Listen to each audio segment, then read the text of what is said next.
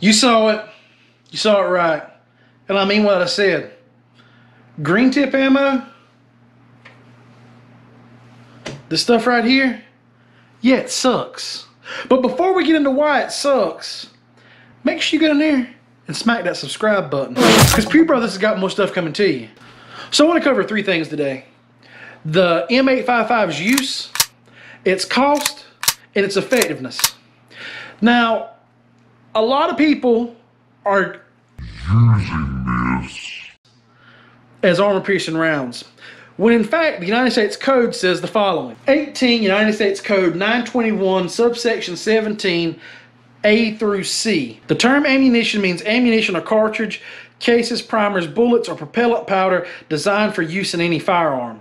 I'm not going to insult your intelligence, would continue reading this, but if you'll scroll down with me to subsection 2 of bullet point B, a fully jacketed projectile larger than a 22 caliber designed and intended for use in a handgun and whose jacket has a weight of more than 25% of the total weight of the projectile.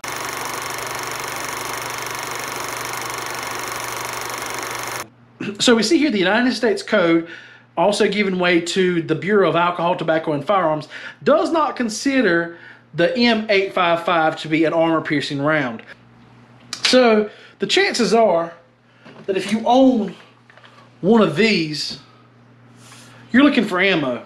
We've posted about ammo and how to fight the good fight, the stamina you need to be able to keep up in the ammo grab of 2020. But some of you are kind of going off the rails and that's the reason why I wanted to address the green tip issue. Green tip. M855. This is by Winchester, 200 round count. We'll talk about the price and the stuff later. M855, as we know it today, came to us in the early 1970s as the United States military was participating with NATO to create a standardized armored piercing round. what we came up with was the SS-109 which the United States adopted as the M855 in the early 1980s. Now, the first thing I'm going to debunk right here, the round is not armor piercing. In fact, NATO designed it so that it was able to penetrate a steel helmet, not body armor. Now, we, what we do find is this is a copper jacketed round with a steel core, not a steel nose not a steel nose. And for the last 40 years, the M855 has continued its role with the military until recently, we see the United States military has began adopting the uh, next generation of armor piercing, if you would, the EPR, the Advanced Performance Round. This is for another video. Yeah, another video.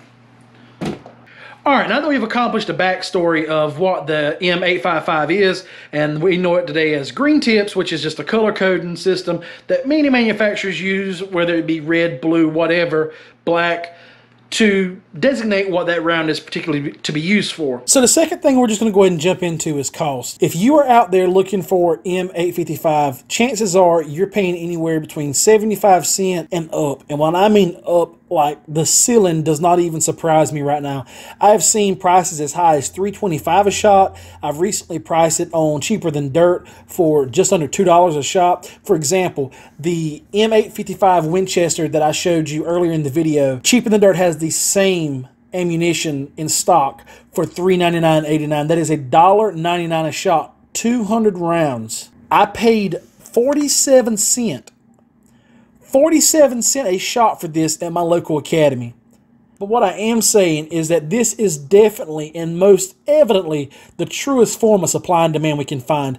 The round doesn't do anything extraordinary. It doesn't have any proprietary characteristics on the market. It has its demand in hype alone. Conversely, if we look at other bulk mil surplus or, or military-like ammunition, the M193, the pricing on that is nearly half of that for what we see on Cheaper Than Dirt. And I know Cheaper Than Dirt's not the best place to compare ammo prices, so since I was on the site, I went apples to apples. We did find M193 on Cheaper Than Dirt, and though it was higher than what we're normally seeing it at, it was still $1.24 a shot.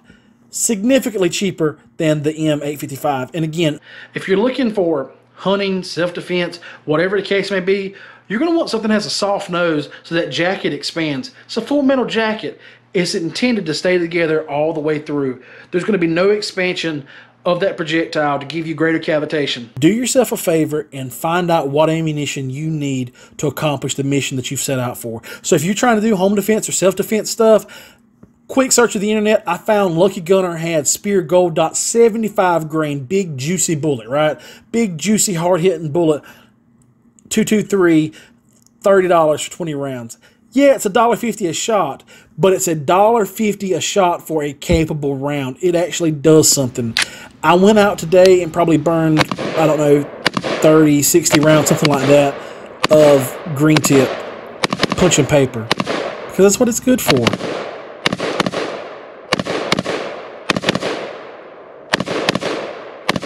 I didn't really think that it stood apart that much in comparison to its peers, but to be honest with you, the only reason I'm holding on to it is for future trading.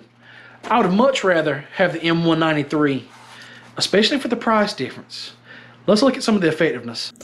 All right, in summary, when addressing the effectiveness of the M855, I'm going to leave this chart here as it speaks to velocity and it speaks to groupings and other things when it comes to collecting data. This isn't necessarily my, my purview, but the articles that I found that supported the evidence behind the accuracy, effectiveness, and the reliability of this round provide great insight to uh, kind of how underperforming the round is. So find those links in the description. Guys, thanks for watching today's video. Please don't forget to follow us on Facebook, Instagram, and please subscribe to our YouTube channel. And as always, plink responsibly.